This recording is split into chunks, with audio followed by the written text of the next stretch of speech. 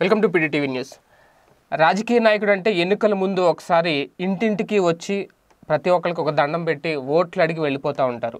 మళ్ళీ వాళ్ళు గెలుపొందిన తర్వాత ఐదేళ్ళలో మళ్ళీ అదే ఇంటికి వచ్చి నీ సమస్య ఏంటి? మీకు సమస్యలు ఏమైనా ఉన్నాయా? ఏమైనా పరిష్కరించాలా? అని ప్రశ్నించే రాజకీయ నాయకులు ఎమ్మెల్యేలు కానివ్వండి ఇతర ఇతర నాయకులు కానివ్వండి చాలా అరుదుగా కనిపిస్తూ ఉంటారు. మొత్తం ఓవరాల్గా తెలుగు రాష్ట్రాల్లో చూస్తే ఇలాంటి వారి సంఖ్య వేళ్ళ మీద లెక్క పెట్టాల్సి వస్తుందేమో. అసలు ఉండకపోవచ్చు అని చెప్పడంలో కూడా ఎలాంటి అతిశయోక్తి అవసరం లేదు. కానీ ఒక ఎమ్మెల్యే ఇటీవల కాలంలో సోషల్ మీడియాలో చూస్తే చాలు ఫేస్బుక్ కానీ మీరు ఏదైనా ట్విట్టర్ కానీ ఏదైనా అకౌంట్ ఓపెన్ చేస్తే ఇన్స్టాగ్రామ్ కానీ ఎక్కడ చూసినా ఆ ఎమ్మెల్యే చేస్తున్న పనులు కనిపిస్తున్నాయి. ఆ ఎమ్మెల్యే పనితీరు క్లియర్గా కనిపిస్తుంది. అతి తక్కువ కాలంలోనే అంటే ఒక నెల వ్యవధిలోనే ఆయన మొత్తం ఆయన నియోజకవర్గం మొత్తం ఒక రౌండ్ వేసేస్తున్నారు. ప్రతి ఇంటికి వెళ్తున్నారు ప్రతి ఒక్కరి సమస్య తెలుసుకున్నారు. అసలు ఎమ్మెల్యే అంటే ఇలా ఉండాలి అని మిగిలిన ఎమ్మెల్యేలందరికీ అంటే ఆంధ్రప్రదేశ్లో ఆయన్ని మినహాయిస్తే మిగిలిన నూట డెబ్బై నాలుగు మందికి కూడా ఆయన ఆదర్శంగా నిలుస్తున్నారు. ఆయనే అనంతపురం జిల్లా ధర్మవరం ఎమ్మెల్యే కేతిరెడ్డి వెంకటరామరెడ్డి. ఈ వీడియో చేసే ముందు మీకు ఒక విషయం చెప్పాలి క్లియర్గా. ఇది ఎలాంటి ప్రమోషనల్ వీడియో కాదు. ఆయనేం మాకు డబ్బులు ఇచ్చి చేపించుకోవట్లేదు. కేవలం సోషల్ మీడియాలో ఆయన చేస్తున్న పనులకు ఇన్స్పైర్ అయ్యి మాత్రమే నేను ఈ వీడియో చేస్తున్నాను. ఎందుకంటే మీడియా అంటే ఒక రాజకీయ నాయకుడు చేసిన తప్పిదాలను ఎత్తు చూపిస్తుంది. ఒక రాజకీయ నాయకుడు అక్రమాలకు పాల్పడిన అవినీతికి పాల్పడిన ప్రజల సమస్యలు పట్టించుకోకపోయినా అది ప్రజల ముందుకు తీసుకొచ్చి పై స్థాయి వెళుకు తీసుకువెళ్ళి ఆ ఎమ్మెల్యే భరతం పట్టే పనిలో మీడియా ఎప్పుడూ కీలక పాత్ర పోషిస్తుంది. అదే టైంలో ఒక ఎమ్మెల్యే మంచి పనులు చేస్తున్నప్పుడు ఖచ్చితంగా అది కూడా ప్రజలకు చూపించాలి ప్రజలకు ఆ ఎమ్మెల్యే గురించి తెలియచేయాలి మొత్తం రాష్ట్రం అంతా కూడా మిగిలిన ఎమ్మెల్యేలు కూడా ఈ ఎమ్మెల్యేని ఆదర్శంగా తీసుకొని ఇలాంటి కార్యక్రమాలు చేపట్టాలి అనేదే మా ప్రధాన ఉద్దేశం పి పిడిటీవీ ప్రధాన ఉద్దేశం అందులో భాగంగానే కేతిరెడ్డి గురించి ఇవాళ ఎమ్మెల్యే కేతిరెడ్డి గారి గురించి సారీ కేతిరెడ్డి అని ఏకవచనంతో పిలిస్తే కూడా ఆ ఏరియా ప్రజలు ఊరుకోరేమో. ఎందుకంటే ఎమ్మెల్యే అనేది ఒక గౌరవనీయమైన పదం. సో తర్వాత గారు అని పెట్టినా పెట్టకపోయినా గౌరవించినట్టే. ప్లస్ ఇంకొక విషయం ఏంటంటే మనకు దగ్గర వ్యక్తిని ఆప్తులైన వారిని మనం పేరు పెట్టి పిలుస్తూ ఉంటాం. ఆ ఉద్దేశంతో నేను అలా సంబోధించాను. ఎందుకంటే ఆయనకున్న ఫాలోయింగ్ అలాంటిది.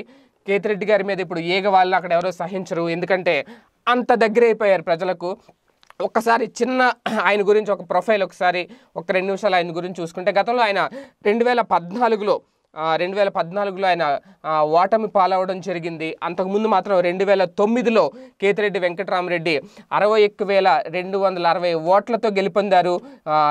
అప్పట్లో ఇండిపెండెంట్గా పోటీ చేసిన గోనుగుంట్ల సూర్యనారాయణ మీద. అదే గోనుగుంట్ల సూర్యనారాయణ తర్వాత రెండు వేల పద్నాలుగులో టీడీపీ తరపున గెలుపొందడం జరిగింది. అప్పుడు కేతిరెడ్డి గారు ఓటమి పాలయ్యారు. అయితే మళ్ళీ రెండు వేల పంతొమ్మిదిలో అదే గోనుగుంట్ల సూర్యనారాయణ మీద ఆయన లక్ష ఆరు వేల తొమ్మిది వందల తొమ్మిది ఓట్లతో గెలుపొందారు కేతిరెడ్డి వెంకటరామరెడ్డి. రెండు వేల పంతొమ్మిదిలో వైఎస్ఆర్సీపీ నుంచి ఆయన గెలుపొందడం జరిగింది. అదే రెండు వేల తొమ్మిదిలో కాంగ్రెస్ పార్టీ నుంచి ఆయన ఎమ్మెల్యేగా గెలుపొందడం జరిగింది. అయితే ప్రత్యేకంగా ఈరోజు కేతిరెడ్డి గారి గురించి ఎందుకు చెప్తున్నామంటే ఒక ఎమ్మెల్యే దినచర్య ఎలా ఉంటుందా?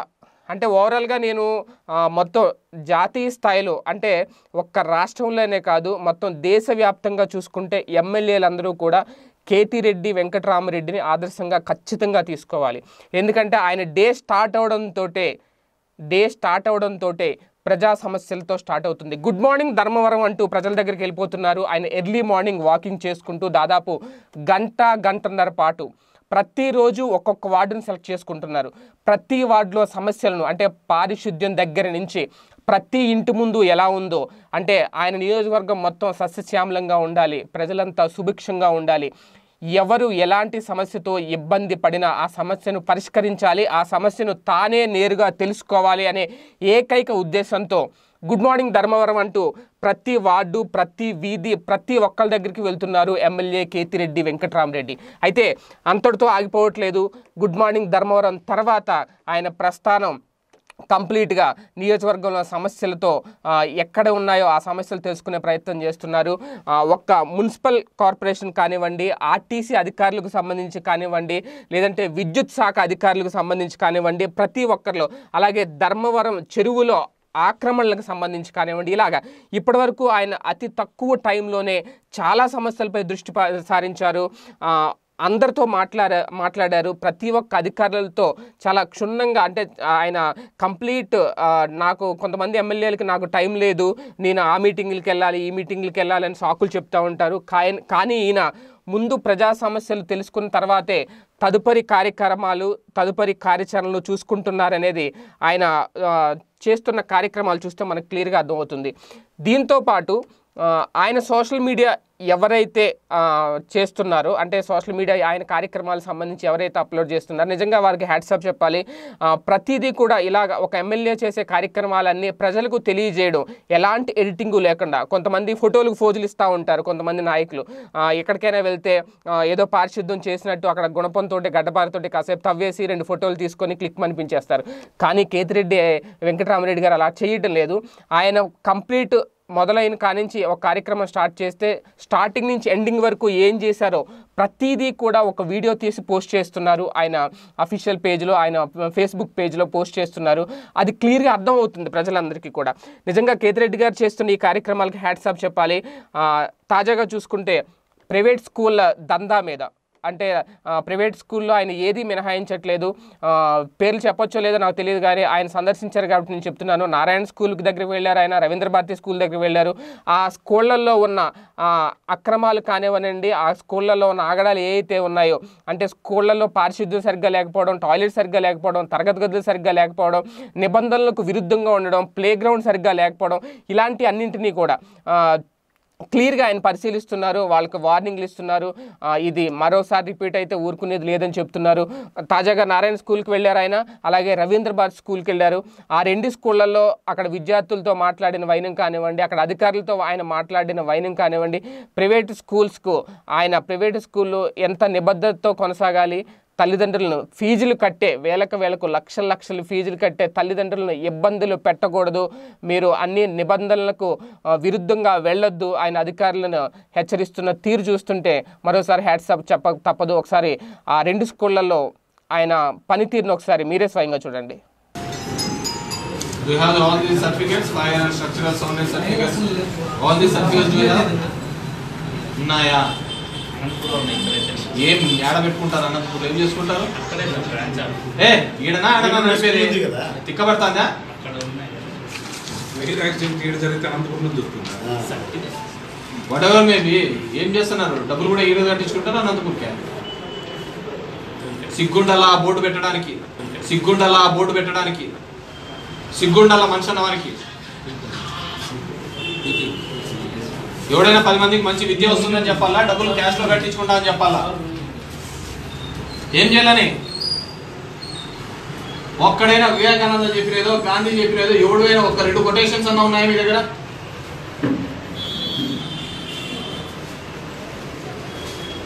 తల్లిదండ్రుల మార్కుల కోసం వెంటబడేంత కాలం మీరు ప్రైవేట్ స్కూల్ బతుకులన్నీ ఇంతే చచ్చింటాయి.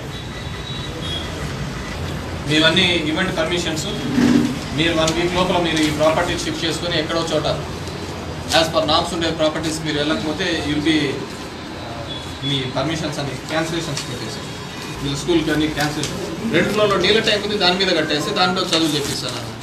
ఏమండి ఏం ఏం ఊరికిస్తాను డబ్బులు? ప్రతి తల్లిదండ్రులు వాళ్ళ పిల్లలకు మినిమం ఎడ్యుకేషన్ రావాలి అనే ఒక బలహీనతతో మీలాంటి స్కూల్ అనే బతుకుతారు. ఇలాంటిది మరి మరి ఇక్కడ కాకుండా ఏ దేశంలో అయినా సరే మిమ్మల్ని కాల్సి చంపాలా? మిమ్మల్ని కాల్సి చంపాలా? ఏ దేశంలో అయినా సరే. పిల్లల జీవితాలతో మీరు ఆడుకుంటేది నాలుగో ఫ్లోర్ ఐదో ఫ్లోర్ మీకు పర్మిషనే లేదు. స్కూల్ గ్రౌండ్స్ లేదు. మీ- అప్పుడు- జీరో మీ అప్పుడు బాడీ ఫీ స్ట్రక్చర్ ఎక్కడ పోయింది అని అడుగుతున్నా. ఎక్కడికి పోయింది? ఏది మీ ఇష్టానుసారం పిల్లలకు ఫీజులు వసూలు చేయడము? ముప్పై వేలు నలభై వేలు. What is the online man that's your institute నాకేం సంబంధం? నీ శాలరీ స్ట్రక్చర్ ఇది ఉండాలని టీచర్ స్టాఫింగ్ ప్యాటర్న్ ఈ విధంగా ఉండాలని పిల్లల తల్లిదండ్రుల నుంచి ఇంత వసూలు చేయాలి అని మేము ఒక గవర్నమెంట్ ప్రభుత్వం ఒకటి అప్రూవ్ చేసి ఇస్తుంది. ఏమైంది? ఆ కాపీ ఏమైంది? ప్రతి సంవత్సరం ఈ- రోజు పద్నాలుగు వందల యాభై మంది స్ట్రెంత్ ఉన్నారు దీంట్లో. ఒక అపార్ట్మెంట్ లాంటిది చిన్నది తీసుకొని మీ ఇష్టానుసారం చేసినారు. ఒక స్కూల్ గ్రౌండ్ లేదు కాలేజ్ గ్రౌండ్ లేదు ఏమీ లేదు. గ్రౌండ్ లేకుంటే వాళ్ళే వాళ్ళ మిషన్లో నాకు అర్థం కావటం లేదు. ఇప్పుడు ఆమె బాధపడతాను వాళ్ళ పిల్లలను ఆ- లగేజ్ వేసుకొని దిగి దిగాలి కదా. అది చదువు పుస్తకాలు కాదు లగేజ్ హమాలీలు మోసినట్టు. అది పైనుంచి దిగాలి కదా పిల్లల కాళ్ళ నొప్పులు అని చెప్పేసి. మీకు నాలుగు- అమాయకన్నా అమౌంట్ ఇస్తారు సార్. మాకు అది కానీ లేదు. మేమే ఇచ్చి మేమే నాలుగు. నాలుగు ఐదు దానిలోకి సంబంధించి పర్మిషన్లే లేవు. ఏ మీ ఇష్టానుసారమా? మీ క్లోజర్ పంపించండి పర్మిషన్. ఈ అకాడమిక్ ఇయర్ నుంచి నెక్స్ట్ అకాడమిక్ క్లోజర్ పంపించండి అసలు ఏమున్నాయి? బాత్రూమ్స్లో నీళ్ళు ఏదా ఉండవు, bathroom నీట్నెస్ చూసారా? లేదు ఏది లేదు. ఊరికే క్లాస్ రూమ్లో చూసి పంపిస్తాను. ఏ- సార్. నేను నేను ఇప్పుడు వెళ్ళొచ్చాను అదే బాత్రూమ్ లేదు నేను వెళ్ళొచ్చాను. సార్ ఇప్పుడు బ్రేక్ సార్. ఏంది బ్రేక్ అండి? అసలు డైనింగ్ హాల్ లేదు స్కూల్లోనే ఆడే తినడము ఆడే పోవడము. ఏంది పిల్లలకు తల్లిదండ్రులకు బలహీనత అండి. పిల్లల్ని మంచి స్కూల్లో చదివించాలా విద్యావంతులు. అది మీలాంటి ఇన్స్టిట్యూట్స్. ఆ బలహీనతను మీరు బలవంతంగా ఫీజుల రూపంలో వసూలు చేస్తున్నారు. డోంట్ ఫీల్ సాడ్ సిగ్గు అనిపించడం లేదా మీరు చేస్తున్న పద్ధతికి? డోంట్ ఫీల్ సాడ్ సిగ్గు అనిపించడం లేదా మీరు చేస్తున్న పద్ధతికి? చదువును అమ్ముకుంటున్నారు అమ్ముకున్న దానికి ఆ పిల్లల కన్నా ఆ మాత్రం ఉన్న స్టాండర్డ్స్ మెయింటైన్ చేస్తున్నారంటే ఏంది లేదు. అసలు ఫిజికల్ ఎడ్యుకేషన్ లేకుండా అసలు ఎలా ఇన్స్టిట్యూట్స్ ఇస్తున్నారండి? చదువును కాదు అమ్ముకుంటాను వాళ్ళ అమ్మనే అమ్ముకుంటాడు సార్ చెప్పాలంటే. అంత అద్దుమానం అయిపోయింది. ఏదన్నా కానీ అమౌంట్ కోసమేనా లైఫ్ మొత్తం? టెల్ యువర్ డ్యూవర్స్ టు కమ్ అని మొత్తం అన్నిటి దానిలోకి చేయండి ఫీ స్ట్రక్చర్ ఏ దానిలోకి అంతా కూడా బ్రేక్ ఇవ్వని ఇవ్వండి. ఏ దానికి ఎందుకు ఇస్తున్నారు అని చెప్పి. ప్రతి దాంట్లో వ్యాపారమా? నారాయణ అంత చేసినాడు. కొడుకును పోగొట్టుకున్నాడు. ఏం తింటాడు అతను చెప్పు.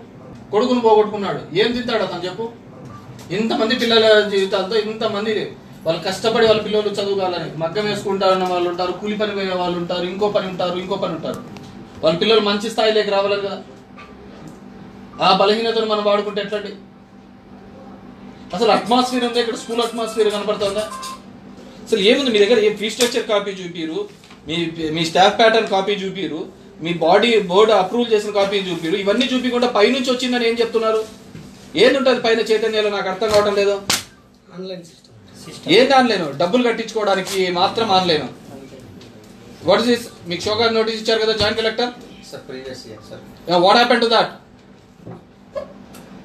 right for ఎడ్యుకేషన్లో ట్వంటీ ఫైవ్ పర్సెంట్ మెంబర్కి ఫ్రీగా ఇవ్వాలి. ఇచ్చారా? ఇరవై ఐదు శాతం మందికి ఫ్రీగా ఇవ్వాలి. ఇచ్చారా? ఇవ్వలేదు సార్ ఒక్క రూపాయి కానీ తక్కువ వచ్చినా కానీ ఇప్పించుకుంటారు. చేసి మరి. ఏం ఇంప్లిమెంట్ కాలేదు జీవో ఇంప్లిమెంట్ కాలేదు. చట్టం ఇది. నాలుగు గ్రీవెన్స్ లేకపోతే ఉత్తర్వులు వచ్చినారు sir joint collector sir. Joint collector. He's given క్లియర్గా మీకు నోటీస్ ఇచ్చాడు కదా? What notice he's given there is no lab there is no library there is no pay structure లేదు. ఎందుకు తీసుకుంటున్నారో డబ్బులు అంతంత తీసుకుంటున్నారు లేదు. మీకు వీక్కి వన్ వీక్ టైం ఇస్తున్నానండి. మంచి స్కూలు మంచి ఇన్ఫ్రాస్ట్రక్చర్ ఉన్న ఏరియా మీరు ఎంత బాడీకి పెట్టుకుంటారో పెట్టుకోండి. అర్థమవుతుందా? ఆ స్కూళ్ళలోకి చేర్పించాలి ఈ ఫ్యాన్స్ బాత్రూమ్లు ఇన్ఫ్రాస్ట్రక్చర్ అన్నీ ఉండాలి. అండ్ మీ స్ట్రక్చర్ మీ ఫీజ్ ప్యాటర్న్ అంతా కూడా బ్రేక్ ఈవెన్తో సహా ప్రతి స్కూల్లో బోర్డు మీద ఉండాలి. ఎందుకు కలెక్ట్ చేస్తున్నారు? ఏ దానికి వాళ్ళు ఖర్చు పెడుతున్నారు? Tuition fee computer fee lab fee అంటే వాటర్ స్ట్రక్చర్ వాళ్ళేం ఎక్కడి నుంచి దొంగతనం చేసి మీకు డబ్బులు కడతా అంటారా? కష్టపడే కదా? మీరు దొంగతనం చేస్తున్నట్టు ఫీజులు అంతా.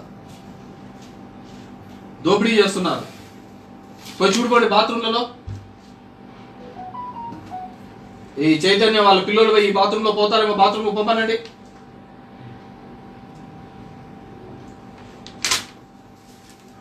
Such hopeless way all the private institutes అన్ని అలాగే ఉన్నాయి. I be visiting next week మీది ఇక్కడ కనపడకూడదు. ఒక మంచి కాంపౌండ్ ఉండేది మంచి స్కూల్ ఉన్న ఏరియాలో మీకు ఎక్కడ యాప్ చేసుకుంటారు నాకు అనవసరమే. మీ పీఈటీలు ఉండాలా పిల్లలు ఆడుకుంటూ ఉండాలా చదువుతూ ఉండాలా? ప్రపంచంలో ఎక్కడా ఉండదండి. పిల్లలకు చదువుకోలేక పిల్లలు చదువు భారమే ఆత్మహత్యలు చేసుకునేది. ఒక్క భారతదేశం ఆంధ్రప్రదేశ్లోనే ఉంటుంది. రైట్ చూశారు కదా కేతిరెడ్డి గారు స్కూల్స్కి వెళ్ళి నాకు తెలిసినంతవరకు ఏ ఎమ్మెల్యే ఈ తరహా కార్యక్రమాలు చేపట్టలేదు. నాకు తెలిసి ఒకవేళ చేపట్టున్నారేమో నాకు తెలియదు కానీ అంటే ఇంత అగ్రెసివ్గా స్కూల్స్కి వెళ్ళడం విజిట్ చేయడం కామన్గా జరుగుతూ ఉంటుంది.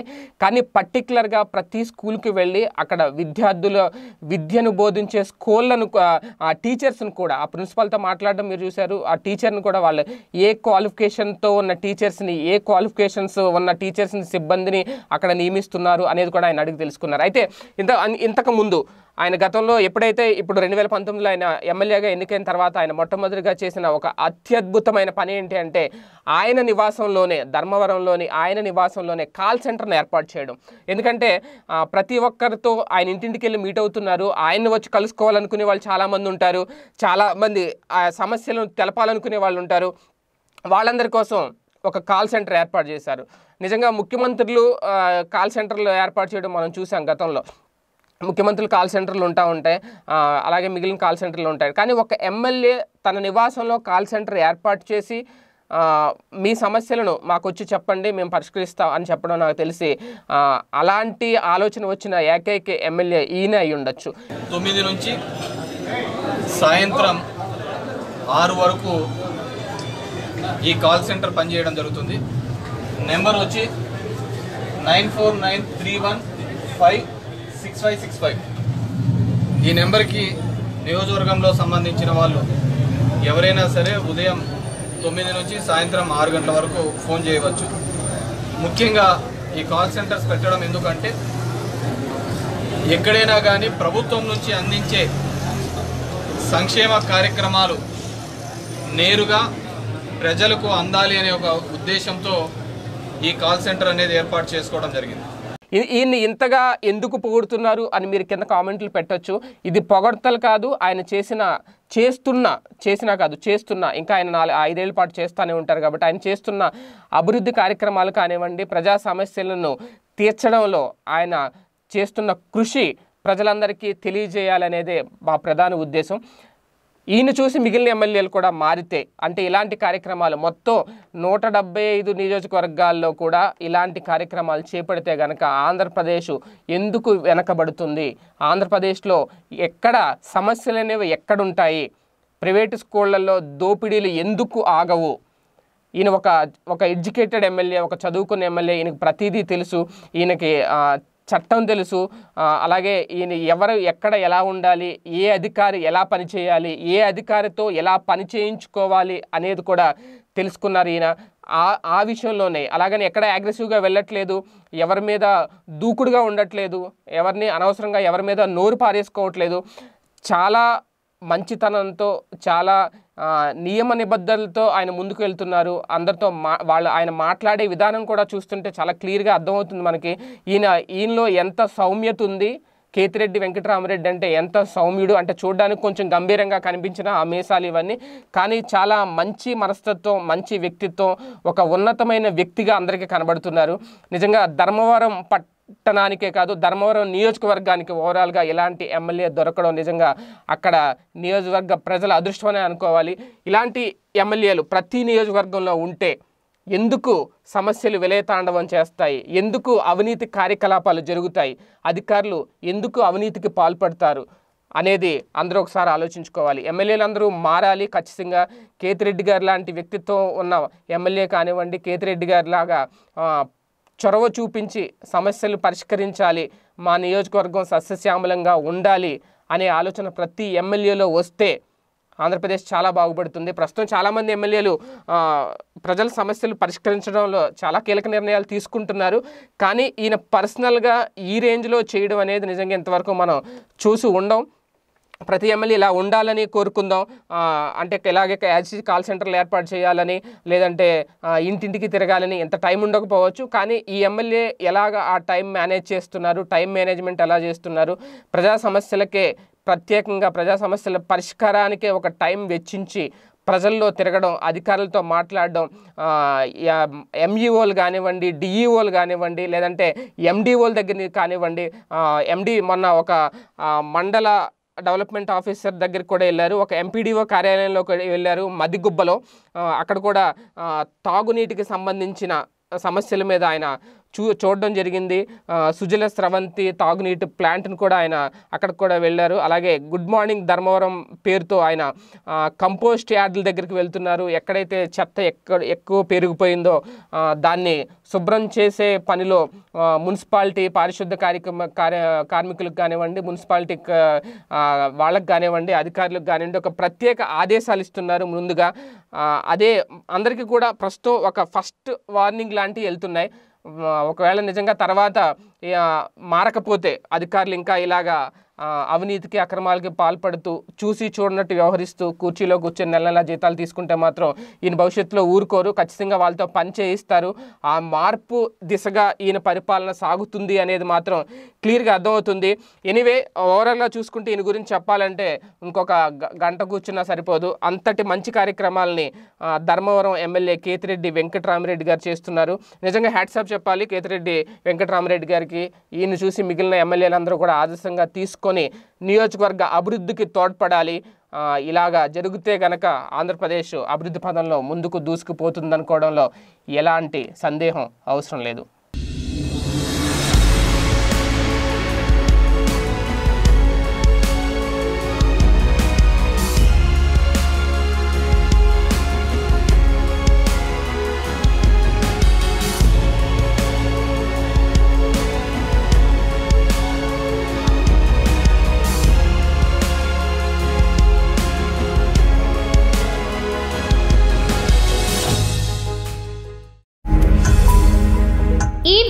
కనుక మీకు నచ్చినట్లయితే లైక్ చేయండి షేర్ చేయండి. మరిన్ని వీడియోస్ కోసం మా ఛానల్ను సబ్స్క్రైబ్ చేయండి.